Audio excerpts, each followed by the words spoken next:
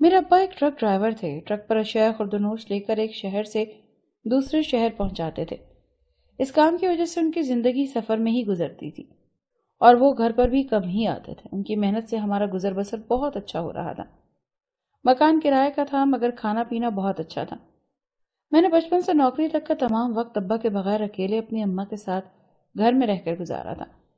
میری پرسکون زندگی میں تب مشکلات کا در کھولا جب اچانک اماں کو تیز بخار ہوا۔ اور دوا سے بھی آرام نہیں آیا۔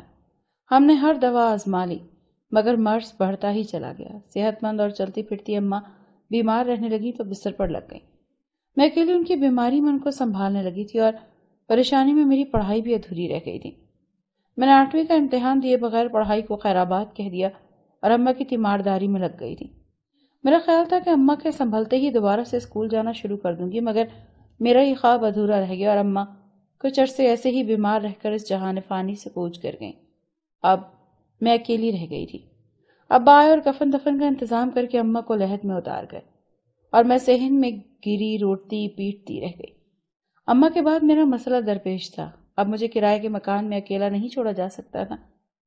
میں نہایت خوبصورت لڑکی تھی، خوبصورتی، وراثت میں ملی تھی۔ کیونکہ اماں اور ابا دونوں بہت خوبصورت تھے۔ ابا چاہتے تو میری شادی کر دیتے۔ میں کم عمر تھی مگر شادی کے قابل تھی اور میرا رشتہ بھی آسانی سے ہو جاتا۔ ابا مجھے اچھا جہیز دے سکتے تھے اور ابا کوشش کرتے تو شاید اچھا رشتہ بھی مل جاتا۔ کیونکہ کوئی بھی مجھے دیکھ کر رشتے سے انکار نہ کرتا، مگر ابا نے مجھے بچی سمجھا اور مجھے اپنے ساتھ رکھ لیا۔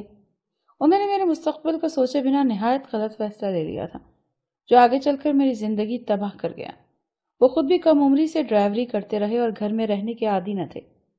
اب میں بھی ان کے ساتھ رہنے لگی۔ میں اپنی تسلی اور لوگوں کی نظروں سے بچنے کے لیے لڑکوں والے کپڑے پہن کر ابا کے ساتھ رہتی تھی۔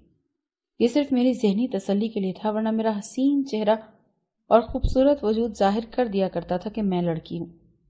کچھ وقت یوں ہی در بدری میں گزرا اور میں جوان ہوتی اچھی خاصی قد کاٹ نکال آئی۔ عمر کے اس حصے میں مجھ پر جوانی کا روپ بھی خوب آیا تھا۔ میرے ابا لاپرواہ باپ تھے جو میری ہر ضرورت کا خیال رکھتے رہے۔ مگر مجھے باقاعدہ گھر دینے یا شادی کرنے کا کبھی نہیں سوچا تھا۔ وقت تیزی سے گزرتا گیا۔ ابا اب بوڑھے ہو گئے تھے۔ اس وجہ سے مسلسل ڈرائیوری کرنے سے تھکن کا شکار ہونے لگے تھے۔ میں نے ایسا ایسا ان سے ٹرک چلانا سیکھنا شروع کر دیا۔ جب میں اس قابل ہو گئی کہ خود اسٹریننگ سنبھال سکوں تو میں نے کھلی جگہ پر ٹرک چلانے کی پریکٹس بھی شروع کر دی۔ میں چاہتی تھی کہ اب میں خود یہ کام کر کے اپنے ابا کو اس عمر بھر کی مشقت سے نجات دلاؤں۔ ہر وقت پریکٹس کر کے میں کافی مہارت حاصل کرتی گئی۔ میں نے اسی عرصے کے دوران لائسنس بھی حاصل کر لیا تھا۔ لائسنس کے ملتے ہی میں نے ابا کو آرام دے دیا اور خود وہ ٹرک چلانے لگی۔ ابا خاموشی سے ایک طرف ہو گئے کیونکہ اب ان میں اتنی سکت ہی نہ بچی تھی کہ وہ کچھ کہہ سکتے۔ وہ تو بس اپنی سانسوں کی ڈور چلا رہے تھے اور اسی خاموشی سے وہ چپ چپ اور الگ تھلگ رہتے۔ ایک رات سوئے تو صبح بیدار نہ ہو پائے۔ میں نے اس سے اٹھ کر معمول کے مطابق انہیں ناشتے کے لیے جگانے کی کوشش کی تو وہ بالکل بے جان اور سرد ہو چکے تھے۔ ایک لمحے کے لیے تو مجھے شدید دھچکا لگا تھا۔ نہ میرے پاس گھر تھا اور نہ ہی کوئی باقاعدہ ٹھکانا جہاں میں اپنے ابا کا کفن دفن کرتی۔ اسی سفر میں ہی ارد گرد کے لوگوں سے مدد لے کر میں نے اپنے ابا کو آخری سفر پر روانہ کیا۔ ان لوگوں نے بھی میری کافی مدد کی کیونکہ ابا ایک محنتی ڈرائیور تھے اور ایمانداری سے اپنا کام کرتے تھے۔ میں اماں کے بعد اب ابا کو کھو کر صدمے سے بالکل نڈھال ہو گئی۔ سچ تو یہ تھا کہ میرے جینے کی کوئی وجہ ہی باقی نہیں رہی تھی۔ کچھ دن تو میں نے ٹرک ایک خالی جگہ پر بند کر کے کھڑا کر دیا اور غم کی حالت میں پڑی رہی۔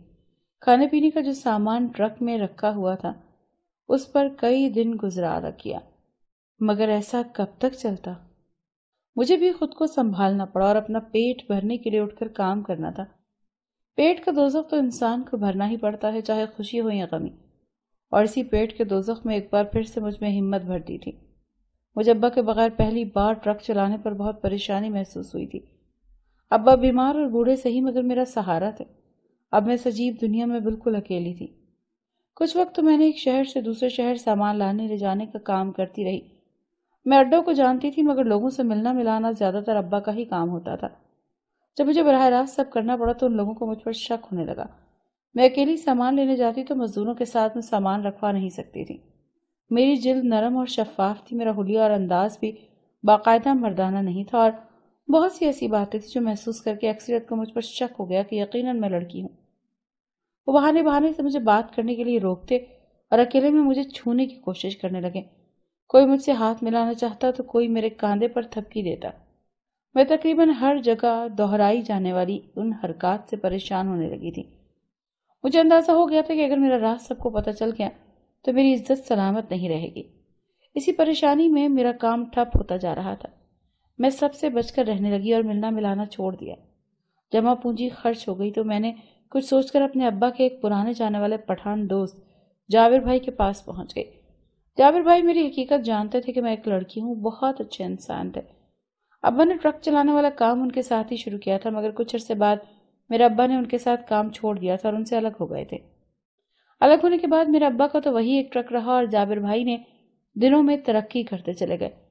مگر ان کے ساتھ ابا کی دوستی پھر بھی قائم تھی، اسی لیے مجھے ان کا ٹھکانہ یاد رہا۔ اور میں بھی مدد کے لیے جابر بھائی کے پاس پہنچ گئی۔ اب تو ان کا ٹرکوں کا ایک بہت بڑا اڈا بن چکا تھا، وہ مجھے دیکھ کر پرجوش سے کھڑے ہو گئے تھے۔ مجھے جو جھجک تھی کہ شاید وہ مجھے پہچان نہ سکے میری جھجک ان کی گرم جوشی پر دور ہو گئی وہ مجھے ایک طرف لے گئے اور میں نے حال احوال کے بعد انہیں اپنی ساری پریشانی بتا کر مدد کی درخواست کی۔ میں نے کہا، وہ مجھے کام دلوا دیا کریں اور میں صرف مال لانے اور لے جانے کا کام کر دیا کروں گی۔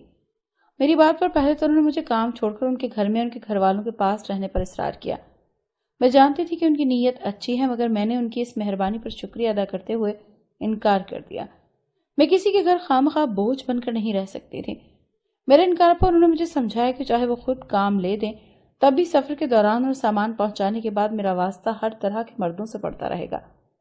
انہوں نے مجھ سے کہا کہ اس پریشانی کا واحد حل یہ ہے کہ میں اپنے ساتھ دو بندے رکھوں، کیونکہ سامان یہاں وہاں لے جانے کے لیے ٹرک پر سامان رکھنے کے لیے بھی مزدور چاہیے ہوتے ہیں۔ تو میں مردوں کے طور پر دو بندے رکھ لوں جو میری حفاظت بھی کریں اور کام بھی۔ ان کو اس اجرت کے پیسے بھی ملتے رہیں گے اور میں بھی باحفاظت رہوں گی۔ مجھے ان کا مشورہ بہت اچھا لگا۔ میں نے کہا، میں ایسے اعتبار والے بندے کہاں سے لاؤں جو میری حفاظت کریں؟ میرے سوال پر جابر بھائی نے کچھ سوچ کر کہا کہ ایسے بندے وہ خود دے دیں گے۔ ان کے پاس کام کرنے والے بہت لوگ تھے اور اگر ان کے اعتبار والے لوگ ہوں گے تو وہ ان سے سوال بھی کر سکیں گے۔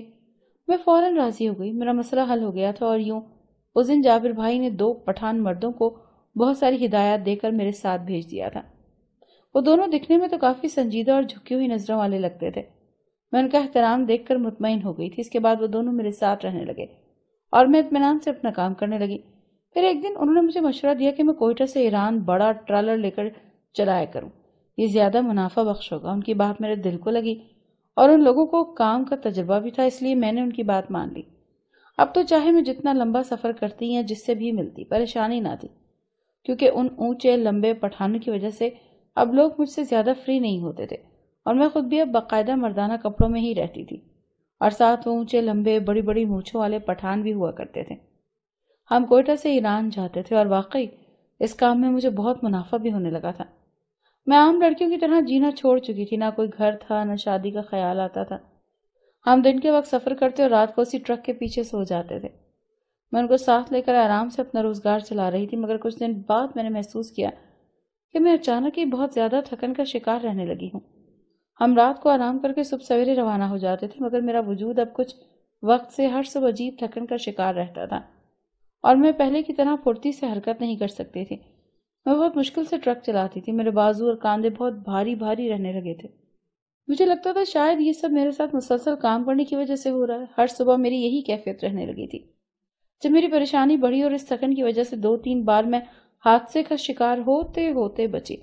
تو تھک ہار کر میں نے کچھ دن کے لیے ٹرک چلانا چھوڑ دیا تھا اور میری جگہ ان دونوں پٹھانوں نے سنبھال لی تھی۔ ان میں سے کوئی بھی ایک ٹرک چلا لیتا اور یوں ہمارا سفر جاری رہ پاتا تھا۔ دن رات مسلسل بائیس ویلر ٹرک چلانے آسان کام نہیں تھا اور یقیناً میں بھی اسی وجہ سے تھکن کا شکار تھی۔ مجھے لگ رہا تھا میری بھی ابا کی طرح بس زندگی ختم ہونے والی ہے۔ کیونکہ موت تو اٹل ہے، ہم سب کو لوٹ کر اپنی حقیقی منزل کی طرف ہی جانا ہے۔ لگتا تھا مسافر اور تھکن کی زندگی کا اختتام ہونے کو ہے۔ مگر میں نہیں جانتی تھی کہ ابھی ایک قیامت باقی تھی اور مجھے زندہ رہ کر اسے جھیلنا بھی تھا۔ وہ ایک معمول کا دن تھا، آج صبح سے ہی میں خود کو تھوڑا بہتر محسوس کر رہی تھی۔ اس لیے ٹرک میں خود ہی چلا رہی تھی۔ جیسے ہی ہم ایران کے بارڈر پر پہنچے تو ہمارے ٹرک کو ایرانی پولیس نے گھیر لیا۔ پولیس کی گاڑیاں دیکھتے ہی میرا تو رنگ فق ہو گیا، کیونکہ آج سے پہلے تو میرے ساتھ کبھی ایسا کچھ نہیں ہوا تھا۔ روٹین کی چیکنگ ہوتی اور ہم لوگ اپنی منزل پر روانہ ہو جاتے۔ ایک پولیس نے ٹریلر کو سائٹ پر لگانے کا کہا۔ میں نے پولیس کی گاڑی کے پیچھے پیچھے ٹریلر کو ایک سائٹ پر لگا دیا۔ میرے ساتھ جو پٹھان تھے وہ بھی گھبرا کر نیچے اترے۔ پہلے تو انہوں نے ہمارے سارے کاغذات چیک کیے۔ مکمل چھانبین کے بعد تھوڑا میرے دل کو تسلی ہوئی، مگر اتنے میں ایک بڑا افسر گاڑی سے نکل آیا اور ان دونوں پٹھانوں کو بغیر جائزہ لینے لگا۔ اس کے بعد اس نے مجھے پیچھے سے ٹرک کھولنے کا اشارہ کیا۔ میں نے پٹھانوں سے کہا کہ ٹرک پیچھے سے کھول دو۔ ان کو اپنی چھان بین کرنے دو، مگر وہ پٹھان جو کا تم کھڑا میرا منہ دیکھنے لگا۔ میں نے غصے سے اسے کہا کہ کھولو، میرا منہ کیا دیکھ رہے ہو؟ اتنا کہہ کر ان دونوں پٹھانوں نے ایک طرف کو دوڑ لگا دی۔ اتنی دیر میں ایرانی پولیس نے فائر کھول دیے دونوں پولیس والوں نے تیزی سے میرے ہاتھ پکڑ کر پیچھے کیا اور مجھے ہاتھ کڑی لگا دی۔ پولیس والوں نے جب میرا ٹرک پیچھے سے کھولا تو اس میں سامان کے اندر سات لوگ چھپے ہوئے تھے، جن کو دیکھ کر میں ہکا بکا رہ گئی۔ مجھ کو تو پتہ ہی نہیں چلا کہ میری ناک کے نیچے وہ پٹھان کون سا کھیل رچا رہے تھے۔ وہ سات لوگ غیر قانونی ایران کا بارڈر کراس کر رہے تھے۔ مجھے انسانی سمگلنگ کے جرم میں گرفتار کر لیا گیا تھا۔ وہ دونوں پٹھان نہ جانے کدھر غائب ہو چکے تھے اور ایرانی پولیس کی کچھ گاڑیاں ان کے پیچھے روانہ ہو چکی تھیں۔ اس کے ساتھ ہی میرے منہ پر کالا کپڑا ڈال دیا گیا اور مجھے گاڑی میں بٹھا دیا گیا۔ میرا ٹرک پولیس نے قبضے میں لے لیا تھا۔ پولیس اسٹیشن پہنچ کر میرے منہ سے جب کپڑا ہٹایا اور مجھے چھ بائی چھ کے ایک کمرے میں بند کر دیا گیا۔ میں زمین پر بیٹھ کر اپنی قسمت پر ماتم کرنے لگی۔ مجھ کو ان کی زبان کا بھی کچھ سمجھ نہیں آ رہی تھی۔ تھوڑی دیر بعد مجھے ایک ٹرے میں کھانا دیا گیا، مگر اس وقت بھوک کدھر تھی؟ ساری رات میں زمین پر لیٹ کر چھت کو گھورتی رہی اور سوچتی رہی کہ نہ جانے کس جرم کی سزا مجھ کو ملی ہے، جو میں نے کیا ہی نہیں ہے۔ اب مجھے سمجھ آ رہی تھی کہ اکثر میری طبیعت رات کو بوجھل کیوں ہو جاتی تھی۔ پٹھان مجھے بے ہوشی کی دوا دے کر سلا دیتے تھے اور غیر قانونی طور پر باہر جانے والے لوگوں کو پیسہ لے کر ٹرک میں چھپا لیتے تھے اور موقع ملنے پر وہ ان کو ایران کے پہاڑوں میں اتار دیتے تھے۔ ساری رات سوچتے سوچتے ہی گزر گئی اور نہ جانے کب میری آنکھ لگ گئی۔ صبح ایک پولیس والے نے آ کر مجھے جگایا اور مجھ سے سوال جواب کرنے لگا۔ میں نے اشارے سے اسے سمجھایا کہ مجھے زبان نہیں آتی۔ ان لوگوں نے دو گھنٹے بعد ایک پاکستانی ترجمان کو بلایا۔ پاکستانی ترجمان کو دیکھتے ہی میرے جسم میں کچھ جان آئی۔ اس کو دیکھتے ہی میں نے بری طرح رونا شروع کر دیا۔ مجھ سے بات بھی نہیں ہو رہی تھی۔ پھر اس نے پولیس والوں کو کہہ دیا کہ مجھے ایک صاف ستھرے کمرے میں بٹھایا۔ اور مجھے چائے پلائی، تھوڑا عقل ٹھکانے آئی تو میں بات کرنے کی بھی قابل ہوئی۔ میں نے اسے اپنی مکمل کہانی سنائی۔ میری کہانی سن کر مجھے حوصلہ دینے لگا، لیکن میں جانتی تھی کہ یہ معاملہ اب اتنا سیدھا نہیں ہے اور نہ ہی اتنی آسانی سے حل ہوگا۔ کیونکہ میرے ٹرک سے غیر قانونی بارڈر کراس کرنے والے لوگ پکڑے گئے تھے۔ پھر میرے لیے ایک وکیل کا بندوبست کیا گیا۔ کچھ دن مجھے پولیس اسٹیشن میں رکھا گیا اور اس کے بعد مجھے بڑی جیل منتقل کر دیا گیا، جو یہاں سے بیس کلومیٹر دور تھی۔ میرے وکیل کا نام زیشان عثمانی تھا جو سرکاری طور پر وہاں اپنی خدمات سر انجام دے رہا تھا۔ وہ دیکھنے میں ایک سادہ سا عام سی ساملی رنگت والا وکیل تھا، لیکن جب بات کرتا تو اس کی گفتگو سے ذہانت ٹپکتی تھی۔ اس وکیل نے نہایت جہاں فشانی سے میرا کیس لڑا اور بالآخر وہ عدالت میں ثابت کرنے میں کامیاب ہو گیا کہ میں ایک بے قصور اور بھولی بھالی لڑکی ہوں۔ مجھ کو پھنسایا کیا ہے؟ ایک سال میں وہ مقدمہ بھگتتی رہی۔ بعد میں پتہ چلا کہ وہ دونوں پٹھان بھاگے ہوئے پولیس کی گولی کا نشانہ بن کر اپنے انجام کو پہنچ گئے تھے۔ ایک سال بعد جب میں جیل سے رہا ہوئی تو وہ وکیل جیل کے باہر ہی میرا انتظار کر رہا تھا۔